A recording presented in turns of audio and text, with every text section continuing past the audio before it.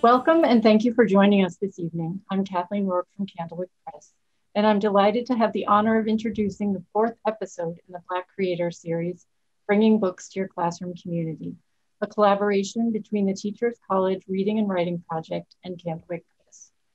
Each month, we will be featuring a Black author or illustrator in conversation with Sonja Cherry-Paul, Director of Diversity and Equity at Teachers College Reading and Writing Project. Tonight, we welcome Frederick Joseph, an award-winning marketing professional, media representation advocate, and writer who was recently selected for the Forbes 30 Under 30 list. He's also the winner of the 2018 Bob Clampett Humanitarian Award given by Comic-Con International and was selected for the 2018 Root 100 list of most influential African Americans. Sonja and Frederick will be able to reply to comments during the presentation, so we invite you to use the comments section to ask questions. Thank you for joining us and enjoy the conversation.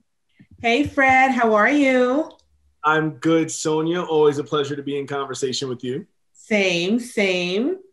So let's jump in and talk about your New York Times best-selling book, um, The Black Friend. I'm just going to share my screen really quickly so everyone can see. And Fred, you've titled this book the black friend on being a better white person. So there's an explicit implication here, right, about who this book is for. But is there is there an implicit invitation as well? Who exactly is the black friend for? You know, it's interesting because obviously, based on the subtitle, one could assume that the book is solely for um, white people. But you know what, what I've heard from many, and what my hope was, and I actually say this pretty explicitly in the beginning of the book, it's it, there's also an invitation there for non-white people to feel seen right?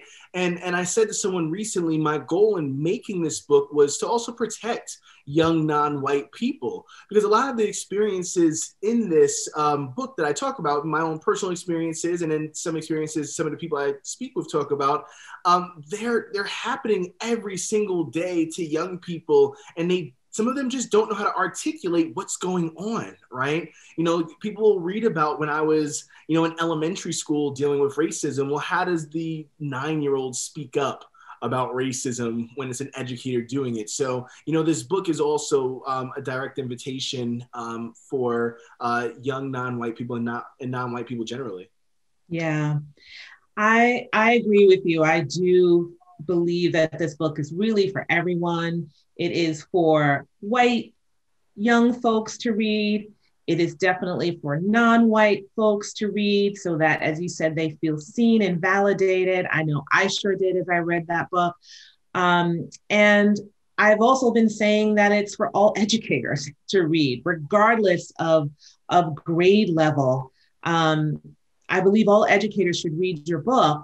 Um, it's essential learning for them. And you know, in the preface of your book, you you write to your little brother and you say, I just want to read this little part here. You said, it won't be long before the stress of being Black in this world finds you. And you know, when you started talking about it's for for for people of color also to feel seen and validated, it made me think about that part in the book. And I just wanted to ask you, um, when's the first time that you really understood that something about race really matters and that something about being Black meant having a very different experience in the world? Do you do you have a moment in your in your young life where you remember that? Yeah i, I think my my the specific moment that i understood um, the the impact of race and and just like oppression in that way on, on me as a as a person and, and a young person was when Amadou Diallo, um, when when that, that that that entire situation happened, um, you know, my mother introduced me to the story of Emmett Till at that time, and and I was probably 11 years old, maybe younger, um, when I first learned of Emmett Till and and when Amadou Diallo happened, and um, and, and, I, and I had to be introduced not only to um, the simple ways or the the non-overt ways in which racism manifests in our society but you know the the direct um, mortal danger that i was in um, every time i left the house um, and currently leave the house as a uh, non-white person. Yeah i'm thinking about for myself um you know you say you were about 11 when this when this happened. Yeah i'm thinking about you know i think i was four or five fred when i started to recognize that something about um, being black seemed to really mean that i was going to have a very different experience because i was noticing commercials on television and i was noticing the shampoo commercials and how they were always white women with long straight hair and never anybody with kinky you know, hair like me. And I, of course, didn't have the language for it at the time, but I knew something about, you know, um, something about those commercials was revealing for me in a way that, you know, I felt like I was being told that I didn't really matter. Um, mm. So, your book obviously talks about all of the subtle and overt ways from you know, Amadou Diallo to, you know, Emmett Till to, you know, shampoo commercials, right? The overt and and um, nuanced ways as well that racism um, exists. But you also help young people understand what it means to be anti-racist. And I thought maybe we could talk a little bit about teachers. How can they become truly anti anti-racist. And one thing I always say to educators is this need to do the the personal work that they'll need to do in advance in order to advance the work of anti-racism. There's a way in which I think sometimes some educators feel like they can just show up in their classrooms and be one person, but in their personal lives, they want to maintain things exactly the way they are. What's some of the work all educators can do personally in order to show up in ways that are truly anti racist professionally? You know, I, I think that for me, number one, before I, am going to answer that, um, but I think, you know, it's important to realize that anti racism is a 365, 24 7 job, right? Like, you know, even I, as a Black person, you know, I just mentioned um, that at 11 years old, when I first started kind of having a deep understanding of race, um, but that's part part of that is because my community had no idea because we were so entrenched in it, right? Um, you know, th- that being said, I, I think that the personal work is first, honestly, accountability, right? You know, I, I think that what I've seen, um, you know, s- especially since June. Um, with the protests for George Floyd and Breonna Taylor um, are a lot of whataboutisms. You know, a lot of people are focused on what isn't them as opposed to what could be them you know um, you know a lot of people have read my book also and, and, and you know i've got message people people thanking me because they're they're not real they're realizing because of the book you know what i didn't even understand that i was perpetuating and perpetrating racism against my own students for years and just assuming that the black kid in my class was on the basketball team. Mm. right? You know things like that. So i think that's the first thing is accountability. The second thing is really having a clear understanding that this is work. This isn't a moment right this is not this is not a moment this isn't like you said oh i go into the classroom and i teach um, stamped or i teach the black friend and then i go home and my uncle is um, a, a, a overt white supremacist right this because that seeps into every aspect of your life. And I say this in the book if you were really about combating racism, no racist would feel comfortable around you. Mm-hmm. Right? Like for for me, um, I am someone who I'm not just an anti-racist. I'm an anti-homophobe. I'm an anti-misogynist. Um, uh, I'm an I'm an anti-transphobe. I'm a I'm a I'm an anti-classist. I'm an anti-elitist. And because of those things, the people who subscribe to those issues are not comfortable around me, and that lets me know I'm constantly doing the work. So I think those are the two things that I will focus on: is accountability and a preparedness to do the work. And then when you got those two things, get out there and actually start doing it. Whew.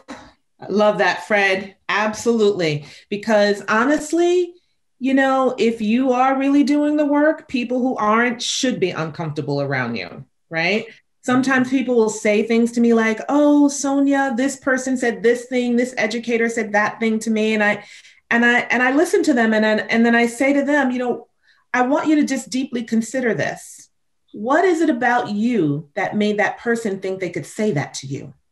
Mm-hmm. Your job is to figure out how to show up differently. So that person knows that they couldn't possibly dream of saying that thing to you because you would not agree. Hmm. Um, so that internal work is just is just so important, and I love that you started with the accountability, and we need to stop with the what whataboutisms and the conflation, um, because it is really a, a way to resist the work. So, Fred, in the book, you write about neighborhoods that I live in now and have worked near. And so it was such a personal read for me, particularly as an educator who worked in a predominantly white, affluent school district. Mm-hmm. And one thing that you know, one thing in particular that was difficult to navigate for me in that space, and I know it's difficult for other BIPOC educators as well, is is white colleagues exasperation wanting to know when will it be enough? And you started to touch upon this but i want us to to push a little further. Um, you write i believe it's in the introduction um, in your text you write all wise people know that no one knows everything if you feel you don't need to read this book because you're already a decent white person there's a good chance you're not as decent as you think. And I remember being asked by a board member in the district where I taught, you, you know, Sonja, if we focus on anti racism as a district, how much time do you think we'll need? One year, two years, three years? and for educators, parents, caregivers, board members, Fred, looking to quantify the work of equity, particularly in predominantly white schools and districts, what can they learn from the Black friend about how much and how long teachers, schools, and districts need to need to focus on this?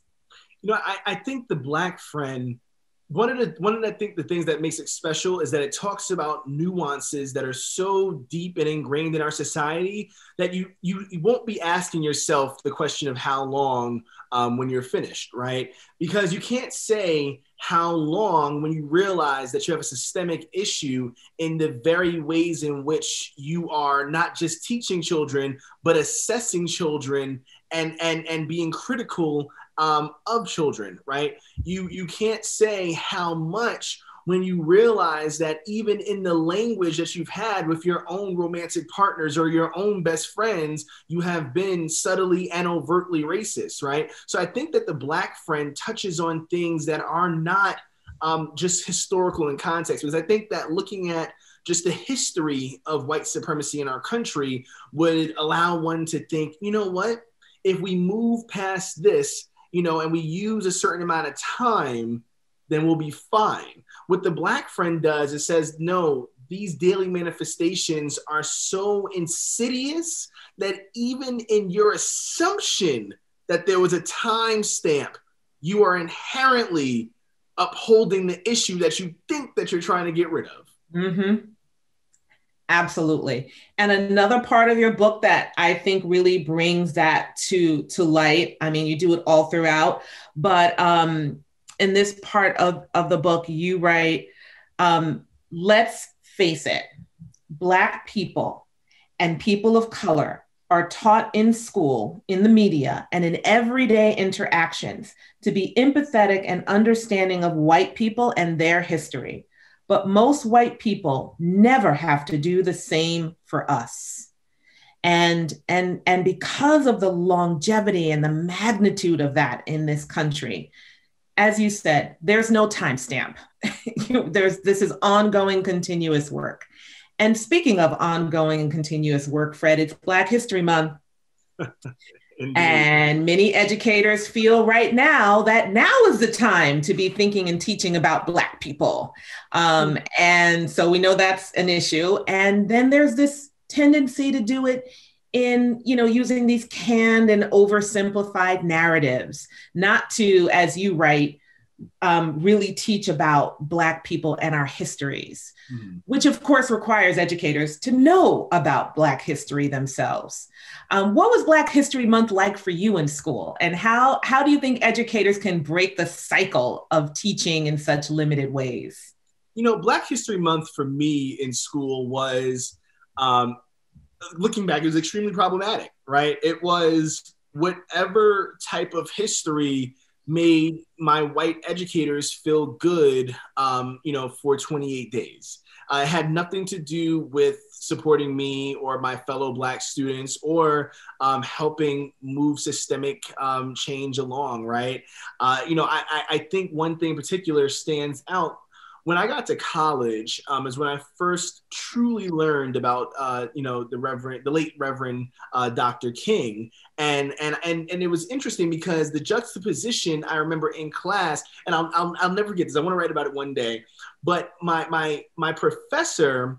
Um, asked who knows um, quotes by Dr. King, and everybody got up. Oh, you know, love and this and that third. He mm-hmm. said, "Well, what about the critiques of capitalism? What about the critiques of of of certain um, other forms of discrimination in this country? He's like, well, what about the fact that he was a socialist and and and and and and, and, and nation? And I was like, what? I remember responding. I said, what do you what do you mean? That wasn't Dr. King. Dr. That sounds like Malcolm X, right? And then he's like, he said, young brother, we have so much work to do. Yeah. Right and and that's because of Black History Month, really, because all I knew in in in Black history was books that my my family left around or what was through a white gaze in school. All that to say that. Yeah, yeah. I love that you bring Dr. King up as the example because, Fred, I don't know if you know, I do a yearly Twitter rant right before um, his birthday about the way folks like to handle the I Have a Dream speech. They like to handle that speech as if there are not two and a half pages before it. You know, where he is breaking down the social, economic, and political conditions for Black folks in, in the United States teachers want to just teach the dream part. And, you know, one of the things I always call for is to really get to know Dr. King and his work. He was radical and he was strategic. And I think you're right that folks um, who are teaching Black history in these oversimplified ways, they're teaching it because it makes them feel comfortable.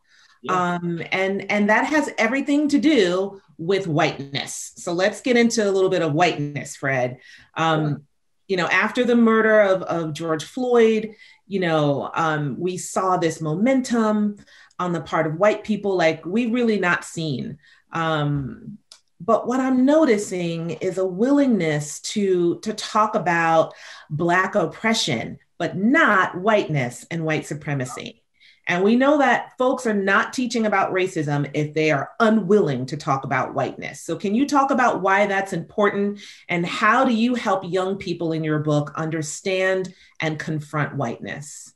Well, you know, I think this goes back to accountability, right? Um, accountability for me is one of the most important concepts that should be uh, discussed during this uh, this renaissance or this movement for Black lives, if you would because it directly speaks to whiteness versus just speaking to it's like okay black people have been oppressed. Black people suffer from systemic oppression. Well you have to look at who are the oppressors right? Like throughout the history of not only this country but globally this is just being honest whiteness has been violent right? You know you look at the violence perpetrated against uh, you know indigenous people in this country. You look at the violence perpetrated against uh, indigenous people in Canada. You look at the violence perpetrated against um, people in South America, Central America, so on and so forth.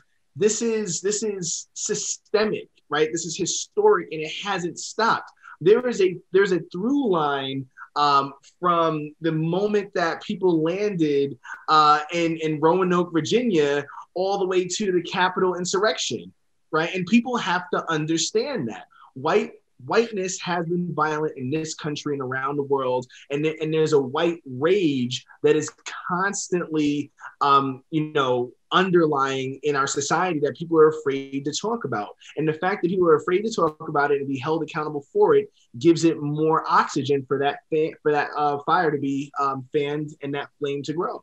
Mm. Whew, I love what you just said about that through line. I'm going to just try to echo what you just said so educators can hear that. That when we are thinking about whiteness and teaching about whiteness and understanding whiteness, we need to be paying attention to that through line from 1619, right, when enslaved Africans showed up on the shores of Virginia, um, to 2021 at the Capitol. Um, thank you for, for just putting it down just like that. Um, and so I want to talk a little bit about the Black Lives Matter movement, which we know has been trying to get folks to focus on that through line and to disrupt whiteness. Um, started by co-founders Opal Tometi, Alicia Garza, and Patrisse, Patrisse Khan-Cullors. It's been going strong since 2014. Mm-hmm. But six years later, even after the killings of Ahmaud Arbery and Breonna Taylor um, and George Floyd, we're still having to address why all lives matter is problematic and I would argue racist, a racist response to the declaration that Black Lives Matter. And you write about this, and I just want to read um, this section because I think it not only brings clarity to kids, it can be particularly um, helpful to educators and caregivers who continue to say this. So I'm just going to read um, this bottom part of the page and into the next one, and then I'll, I'll ask you about this. You write, All Lives Matter is directly related to white people not wanting to see color and not wanting to make things about race. It's an effort to derail the people who are saying that Black Lives Matter while they are burying children like Trayvon Martin and Tamir Rice. It's an effort to neutralize the message that we need to uplift the importance of Black lives because so many people act as if those lives don't count. I want you to see my race, and I want you to see the race of other people of color and the trauma many white people have caused us. And I want you to own those traumas and to be better. But I also want you to see more than our pain and our struggle. I want you to see the beauty in our differences. I want you to see Black mothers perfecting their collard greens recipe. I want you to see Chinese grandparents teaching their children to make dumplings by hand. I want you to see Puerto Rican fathers teaching their children the history of salsa music. I want you to see Indian mothers placing colorful saris on their daughters. I don't want to be seen as a human. I don't want to be seen as the same. I want to be respected. I want to be special. I want to be jazz. I want to be soul food. I want to be poetry. I want to be Black. Could you talk a little bit about the ways that the All Lives Matter statement is really the sibling of I don't see color, maybe even its twin? You know, I actually can can take it a step further than that, but I'll, I'll comment on that first you know, all lives matter is is a white lash. Um, you know, all lives matter, like white power to black power, is is a direct um, contradiction um, and an attack on a very simple concept of of respecting um, uh, uh, black people. It's not even. It doesn't even say love black people. It doesn't even say black lives prosper, right? It's mm-hmm. on a baseline in a country that has, um, you know, strung us from trees and and had its uh, police officers bury us on camera. Um, it's just saying we matter in this system in this country. We matter, um, and all lives matter. That effort is is one to, as I said, derail that. It's not nothing more nothing more. Um, but I but I I do think that you know one thing I would have included in the book that I'll say for the first time here. Um, you know I, I think that the All Lives Matter movement also comes out of the the one human um, movement of you know the 70s and 80s. Um, you know which is you know, even people who I, I like, um, you know, like Jane Elliott, um, you know, ha- are people who have pushed that movement historically, right? It's like, oh, we can all be uh, the same. And, and that's another way of saying colorblind. And I think it's deeply problematic because, again, what it does is it negates accountability um, for the historic uh, trauma and the current traumas that non white people face. You know, it's, it's, it's not okay for me to say, um, oh, women are the same as men because that completely um, you know erases um, all accountability and privilege that I have in the system um, and and and and what trauma um, women face daily as an example. Yeah, and I think I think you're right. I think all all of these roads are leading back to accountability. accountability. Um, so I want to talk about another way that you know educators can think about their role and accountability um, by by reading the black friend um, by thinking through the lens of, of students of color in particular. Um, one of the major issues i would say that a lot of bipoc students in predominantly white school districts navigate regularly is cultural appropriation which you write leads to desensitivity and dehumanization and for many students I've taught, they've tried a variety of tactics, some of them that you've written about. They've tried to ignore it, they've tried to laugh along as a way of coping.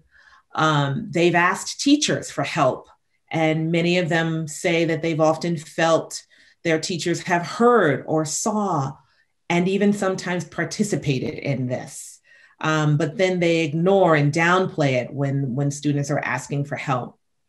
So in a Kardashian capitalistic society, Fred, that has a longevity of commodifying Black people and BIPOC communities, how are you trying to educate white kids about this in the Black Friend? And how should educators, teachers, administra- administrators, how should they address this? you know, I, I think one of the things again that makes the Black Friend stand out and you know um, be different from other books is that I give firsthand, real world examples um, from my own experiences, and and I think when touching upon you know cultural appropriation, it's it's it's a very difficult subject. Um, so I gave a story in which um, not only did I include myself, but there's Latinx friends that I have. You know, a, a, lot of people, you know, say things like, well, what about appreciation? What if I'm just appreciating? Well, people have to realize appreciation comes with research, appreciation comes with um, an ability to not disrespect. You know, I, I, think one really good example I saw recently was um, someone for Halloween uh, dressed as uh, Barack Obama.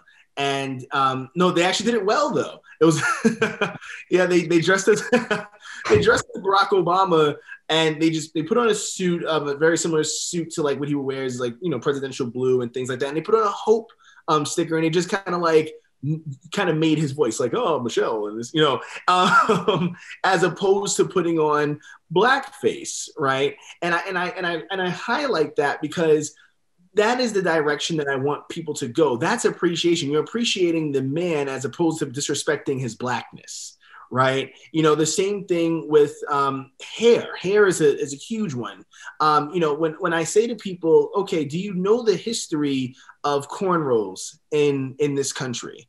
Right? Do you know why a lot of people who were enslaved wore their hair in cornrows? And do you know what they hid in those cornrows because they had to feed their families or themselves? And they're like, no, I have no idea what you're talking about. I'm like, so before you even could understand why you're wearing this, you need to understand why you shouldn't be wearing this, right? So I'm, I, you know, throughout the book, I, I tried to do a good job of not just kind of wagging my finger or waving my finger at people saying, don't do this, don't do that, but really give good examples um, as to why um, and the context for what I was talking about.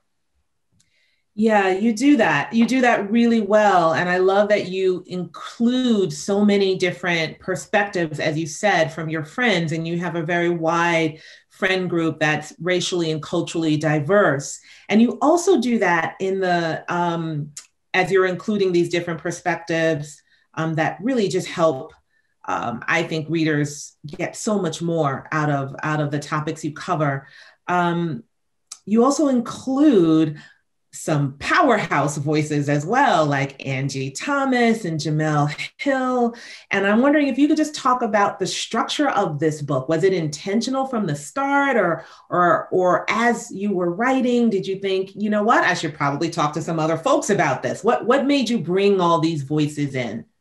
No, it was it was always intentional. Um, you know, the book actually stemmed from a moment that took place that was deeply racist, and then a tweet that I put out saying that I was going to. I didn't know how I was going to structure the book, but I knew that I wanted, um, you know, various voices because I, I think that um, when people are talking about, um, you know, racism, uh, homophobia, transphobia, so on and so forth, people have to understand there's intersectionality to everything as uh, I, you know i'm a cisgender heterosexual black man and i have my specific experiences within racism and white supremacy. So I, I, think that it's important especially for young people to see the intersectionality and the interwoven connection um, through the struggle against oppression in that way right? So you know one example um, when i spoke to angie you know angie had already um, you know released uh, on the come up and hate you give uh, i had i didn't have a book out yet um, so her perspective as a black author was very interesting because she wrote about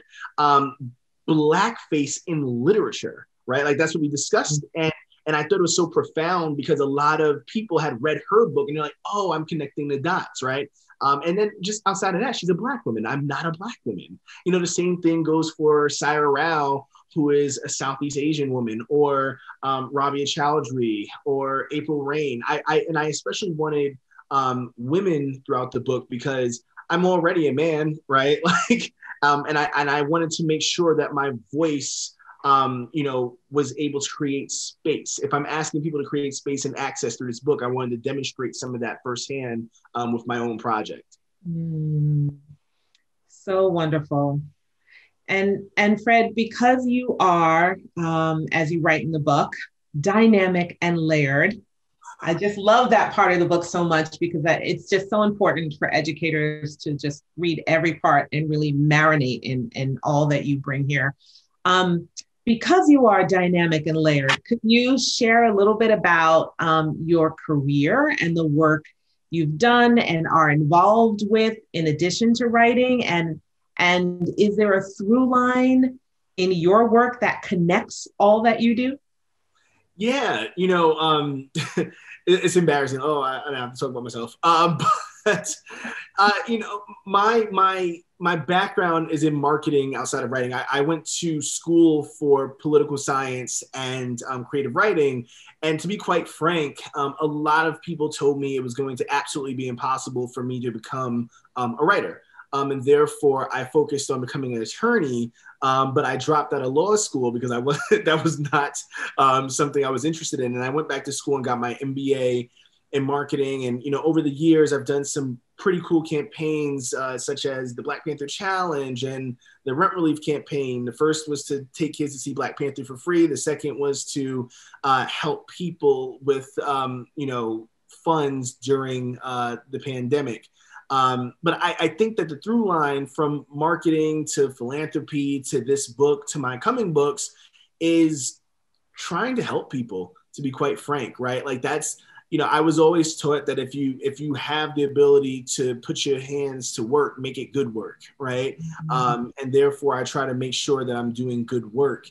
Um, you know, and I'm, I like to be intentional about everything um, I do at all times. So even when I'm t- when I'm doing conversations like this or I'm showing up in the media, I oftentimes kind of wear um, you know less author stereotypical attire um, because I wonder what people's assumptions are going to be, and I'm trying to push back against those assumptions. Right, like right now in a, a, a long sleeve T-shirt and a beanie, um, versus a tweed jacket and and my glasses. You know, my contacts in because I want people to start understanding that you know, a black person in certain spaces doesn't have to look any specific way to align with any specific thing. So, you know, mm-hmm. everything I'm doing at all times is pretty intentional about getting people to uh, reframe their thinking. And I hope that people watching this, when they heard that last part, um, do a little self assessment about whatever they assume based on my attire, also.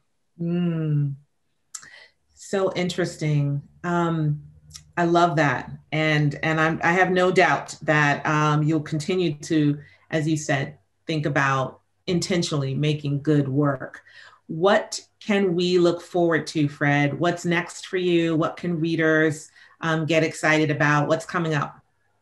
Yeah. Um, so I, I, am not sure uh, what I'm supposed to say, what I'm not supposed to say, but I do have two books, um, you know, in the pipeline. Um, one of them is going to be my debut um, adult book, and the other one will be um, somewhat of a follow up to the Black Friend, um, but tackling um, more global issues, um, you know, such as environmental justice and ableism and things of that nature because i think that the work is is anti-racism and anti-racism is at the intersection of so many other um, oppressive forces. And and you know to to combat one you have to kind of combat many of them uh, and there's some brilliant voices who I'm hoping to have in one of those books as well, Sonja. So.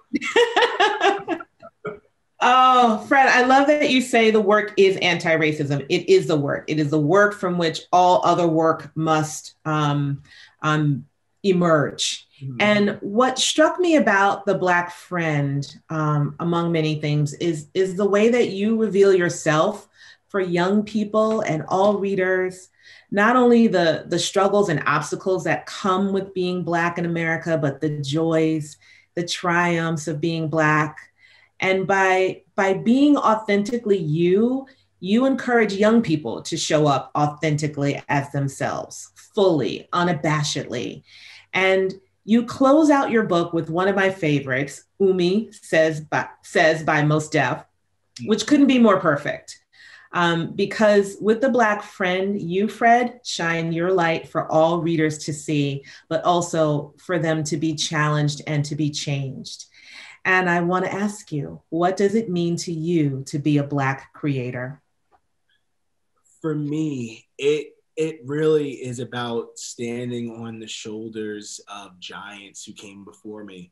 You know, um, I am I'm constantly privileged and even like emotional right now because it's a question that doesn't necessarily get asked all the time. Um, but I think during Black History Month, especially, um, it means a lot to me to build a legacy um, that will last. And maybe one day kids will be reading about me during Black History Month and my experiences and my thoughts.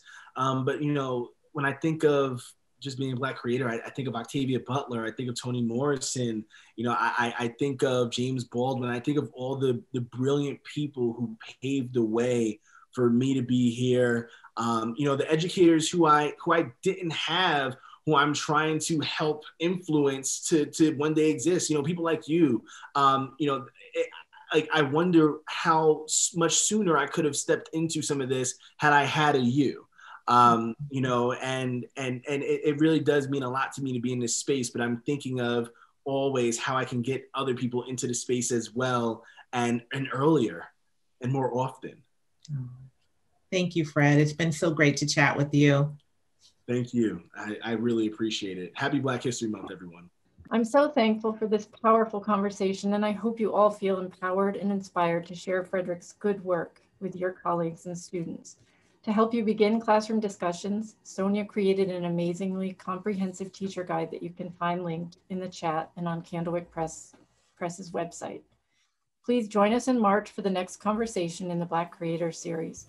Our guest will be multiple award-winning author Kekla Magoon, who was most recently awarded the 2021 Margaret A. Edwards Award, honoring her significant and lasting contribution to writing for teens. For a full schedule of conversations and links to an accompanying podcast, please visit blackcreatorseries.candlewick.com and check the Teachers College Reading and Writing Project's Facebook page for past episodes. Thank you again for joining the conversation.